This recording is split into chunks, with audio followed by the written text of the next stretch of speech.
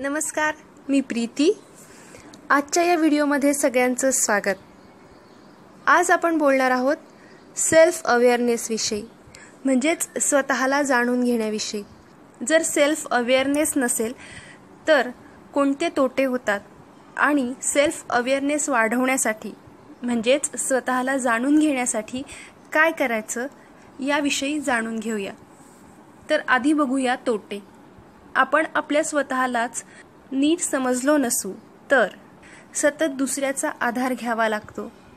इतरांचा आपल्यावर पटकन प्रभाव पडतो आणि आपण तसं वागण्याची शक्यता असते. स्वतःचे निर्णय घेताना त्रास होतो. दुसऱ्याच्या मतांना नेहमी प्राधान्य दिलं जातं. त्यानंतर स्वतःची मतच तयार होत नाही. इतरांनी आपल्याला चांगलं म्हटलं तरच आपण चांगले.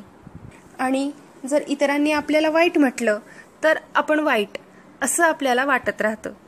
पटकन आपल्या मनात न्यूनगंड तयार होतो. निगेटिव्ह विचार वाढतात. या सगळ्या गोष्टी होतात जर तुमच्यात सेल्फ अवेअरनेस नसेल तर. आता स्वतःला जाणून कसं घ्यायचं? आपल्याकडे कुठल्या गोष्टींची कमतरता आहे आणि आपल्याकडे कुठल्या गोष्टी चांगल्या आहेत याची आपल्याला माहिती असणं. आपल्याकडे कुठल्या अशा गोष्टी आहेत ज्यामुळे आपण मानसिकरित्या सशक्त आहोत?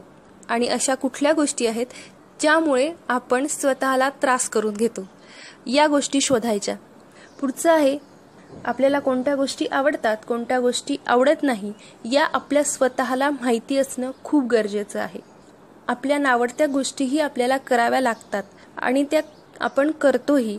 पण तरीसुद्धा मला हे आवडतं आणि मला हे आवडत नाही या गोष्टीची आपल्या मनात आपल्याला जाणीव हवी. त्यानंतर विचार. आपल्या स्वतःचे विचार असायला हवेत. ते व्यवस्थितपणे मांडता आले पाहिजे आणि ते विचार सकारात्मक असायला हवे. त्यानंतर दृष्टिकोन. आपला कुठल्याही गोष्टीकडे असणारा एक विशिष्ट दृष्टिकोन असतो. तोही सकारात्मक असला पाहिजे. आणि तो दृष्टिकोन आपला आपल्याकडे बघण्याचाही सकारात्मक असला पाहिजे. त्यानंतर ध्येय किंवा गोल. आपल्याला एक ध्येय हवं. लहान मोठं कुठलंही चालेल. हे गोल ठरवताना किंवा ध्येय ठरवताना आपण आपल्या स्वतःचा विचार करून ते ठरवतो.